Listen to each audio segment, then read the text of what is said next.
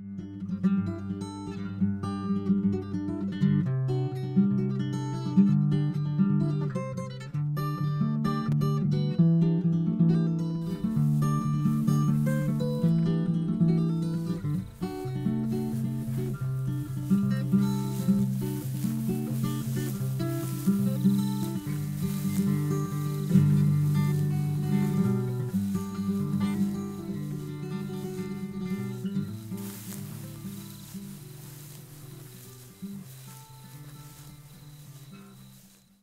Hi, I'm Terry Hanley, wildfire instructor.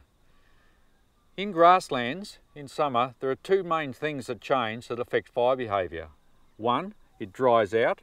Two, it's harvested either by people or by animals. As you can see in crops, the fuel load increases as the crops grow, then drops off sharply when it is harvested. Whereas in pasture, the fuel load drops off slowly as the animals graze the pasture. Measuring fuel loads helps the CFA estimate fire behaviour in the summer. We are going to visually measure two fuel areas, one with a high fuel load and one with a low fuel load. We're going to burn these two areas and compare the fire behaviour between each of them. First though, let's look at the fuel load. We do this by measuring the fuel height and the percentage cover. Have a look around your paddock and enter the height of the grass on your card. We do this by measuring at the average height of the seed head, not the leaf. So to determine the percentage cover, we look at the fuel height you gave and look at the amount of fuel under that fuel height. Where 100% it is totally full of fuel and 0% is like a sandpit. And we can see from this that this one has a much higher fuel load, whereas over here it has a much lower fuel load. Just like for measuring curing, we break things down into thirds. So to work out the percentage cover, look at which third it fits into, then we'll look into more detail about what percentage that is. 0 to 30% cover is sparse, such as drought or desert conditions.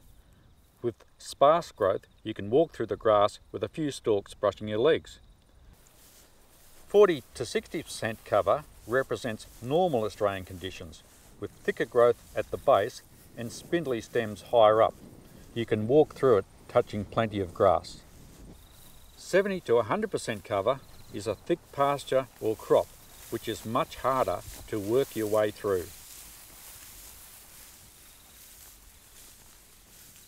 Here the cover is in the abundant range, or 70 to 100%, and it's sitting on about 70%, which means that the space under the height of the grass is 70% full of vegetation.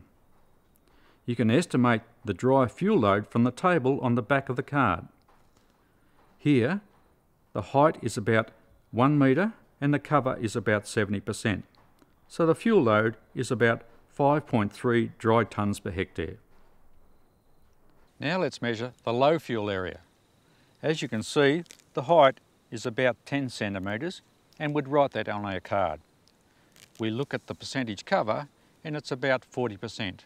And from our cover, we then can work out that the fuel load is about one tonne per hectare. So now let's have a look at how these different fuel loads burn we have installed heat sensors and poles marked at one metre intervals so we can measure the flame height. So now we'll ignite the two plots.